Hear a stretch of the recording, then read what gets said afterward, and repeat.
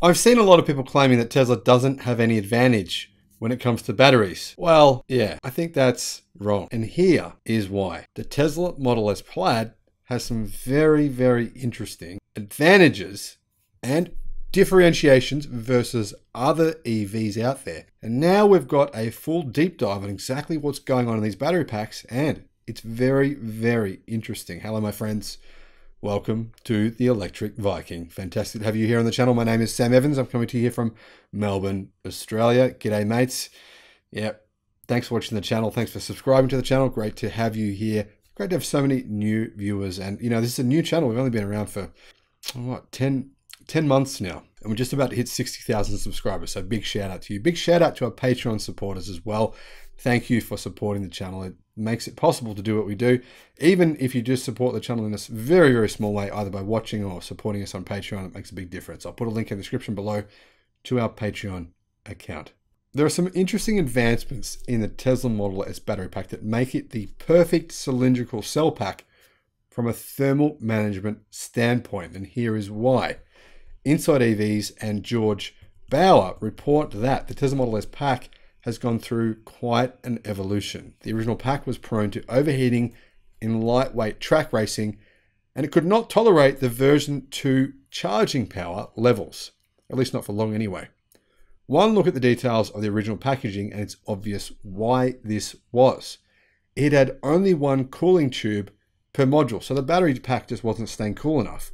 And obviously, that's one of the reasons why, when drag testers or people driving this car fast, doing fast runs, it couldn't do too many fast runs before the battery just couldn't do it anymore, or the performance times degraded massively. We've seen the exact opposite happen with the Tesla Model S Plaid. A lot of people were saying, "Oh, it's a Tesla. It's a it's it's electric. It, it won't be able to do more than three or four, tra- you know, drag strip quarter mile times before it, it can't be driven anymore, and then it'll be useless." Well, the exact opposite happened. I've seen many videos. Brooks at DragTimes. I've watched a lot of his videos him testing the Tesla Model S Plaid and showing you that it really is incredible the way that that vehicle can just do run after run after run with very, very little, very minimal performance decreases even after it's had repeated hard runs. So why is this? Well, there were 16 total modules in the original Tesla Model S pack with 7,104 cells.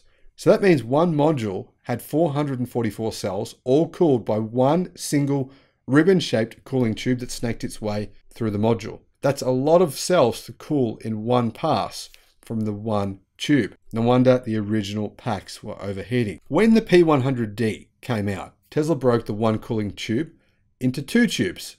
So essentially they added more cooling. The company also slightly increased the cell count in the pack, but the number of cells cooled by one tube pass was decreased by a factor of almost two, from 258 versus the original 444. That's a pretty big difference. So you can see why that pack was much better performing than Tesla's original pack, but it still really wasn't enough. Now in the Plaid, there's another reduction in cells per tube, roughly by a factor of two, again to 144 cells per tube.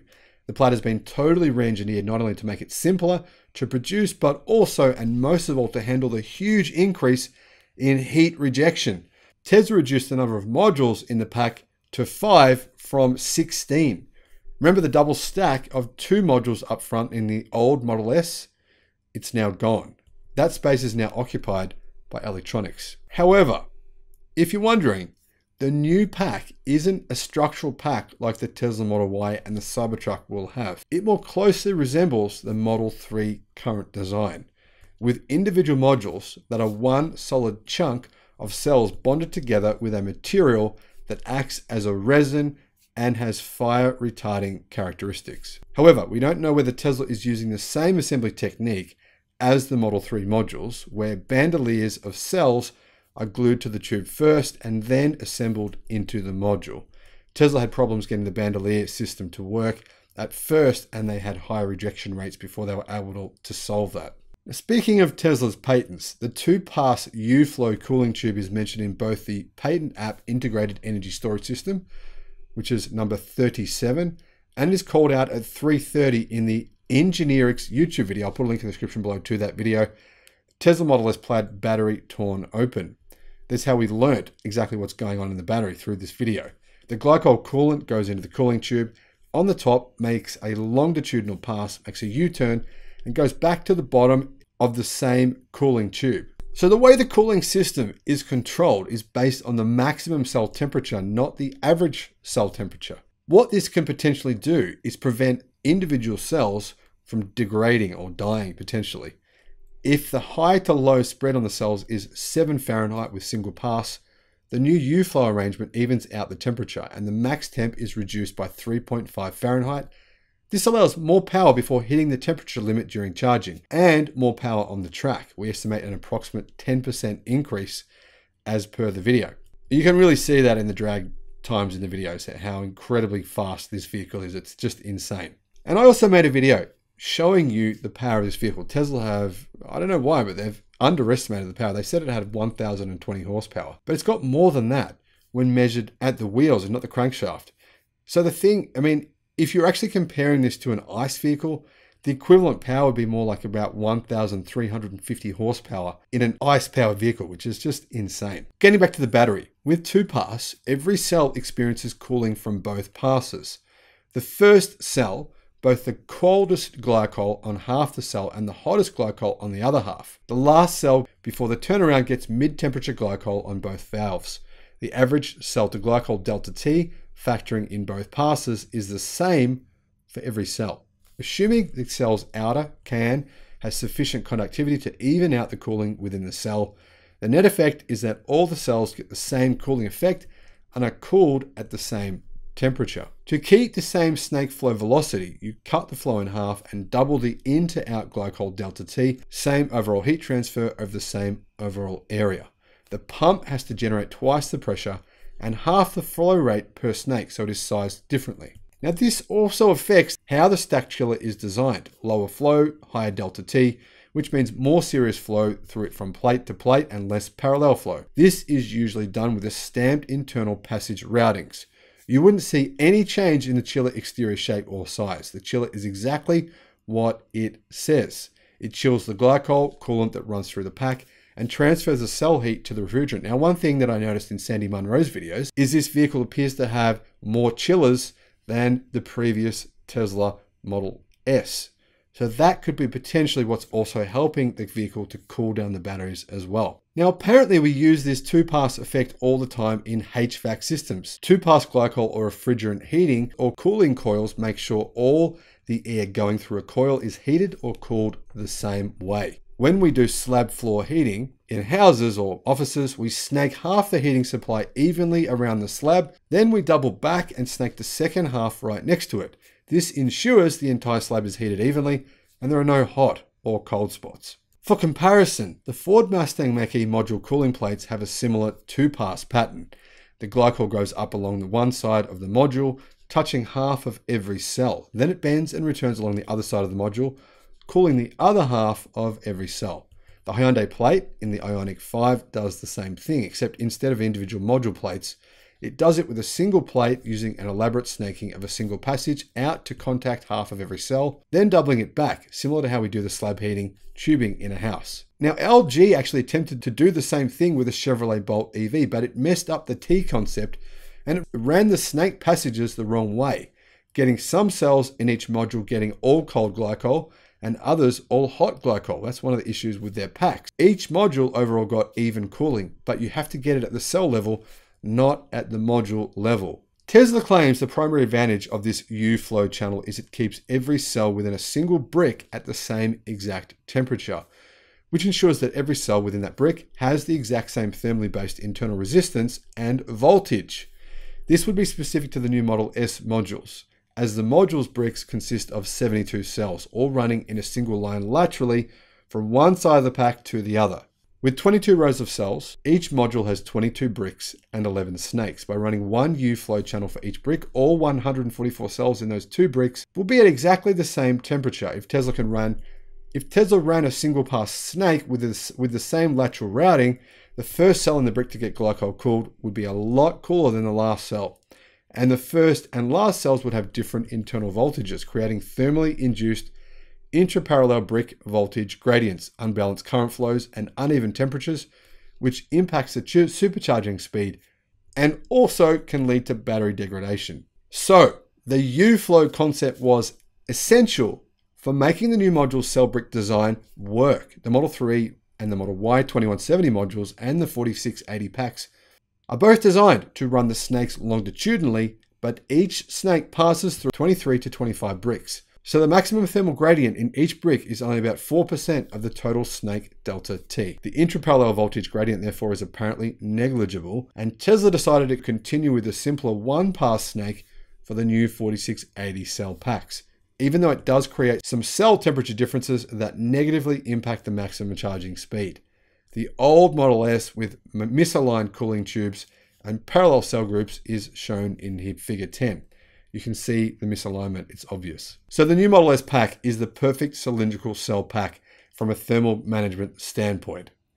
Maximum cell to glycol plate contact area per watt with low cell to plate thermal resistance. Two pass flow ensures even cooling temperatures for every single cell in the pack. This ensures maximum safe charge and discharge rates and minimum intracell voltage gradients. And it's one of the key reasons why the Tesla Model S can perform at such an incredible rate for so long in comparison to previous models and in comparison to other electric cars currently on the market. However, one thing we should point out is that the 4680 tabless design allows electrons from the jelly roll inside the battery to only need to travel at most 80 centimeters versus the 1865 cells that have to travel an entire 3 meters. This is one of the big advantages of 4680 battery cells. The shorter distance equates to less heat buildup as well as less energy losses due to heat. A lot can be said about how much quicker the battery can be cooled down when needed as well. Additionally, the 4680 cells should have the ability to discharge more power on demand because of this same design. Another advantage to 4680 cells. Efficiency should extend to charging as well, meaning that it was believed that it can charge at longer durations at higher rates before tapering off due to less thermal buildup. Less heat should also mean less inner cell expansion, which would create an increase in longevity or cycles. There's lots of advantages on all fronts for Tesla's new 4680 battery cells. It's not just the fact that they're bigger, or the fact that they're using structural packs. The one thing that really intrigues me though is whether or not lithium iron phosphate batteries will be used inside 4680 cells. Obviously, we know at some point in time, Tesla will use lithium iron phosphate batteries inside their structural pack. But the question is, in what form? It appears as though it's possible they could be using prismatic cells from an American company, a new battery supplier. But then again, they could also be using LFP cells from Gotion High Tech, who plan on building factories in the US to provide Tesla with lithium iron phosphate batteries. Who knows? It's going to be very interesting to see what happens. I'll put a link in the description below to videos I've made on those two different battery companies and what's happening with them. Now, here's an interesting comment that I found, which is worth you thinking about, and it really raised some interesting points. HVAC Man said this 18650s are a better option for the Model S pack than 4680s for multiple reasons. He says the smaller cell versus the 4680, of course, the 18650s are much smaller cells is shorter and makes for a thinner pack, a little bit like BYD's Blade battery. This fits and suits the Model S architecture design much better than a 4680, which is obviously the design of the architecture is not made for the 4680, so that makes sense.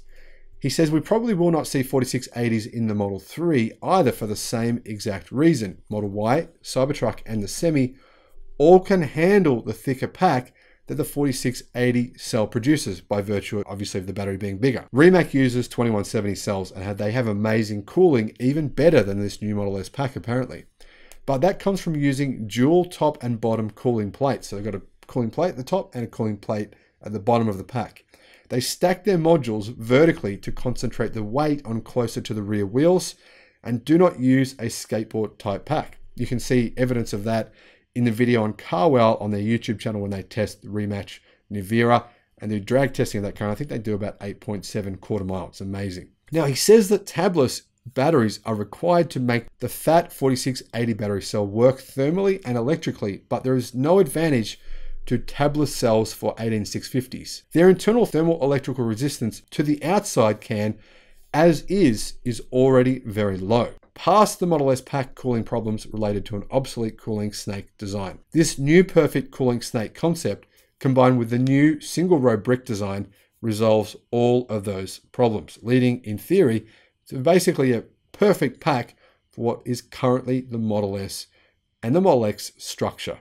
Personally, I always enjoy reading these articles written by engineers, and I'm sure some of it you might not have understood and some of you would have, but it definitely gives us an insight into what is going on here with electric batteries. Kind of helps us to understand the challenges that engineers face with them and how they're overcoming the challenges of heating and cooling, because obviously you can't have a battery pack being too cold, you can't have it being too hot. It has to be really within that correct temperature range in order to provide maximum performance and longevity of the battery as well.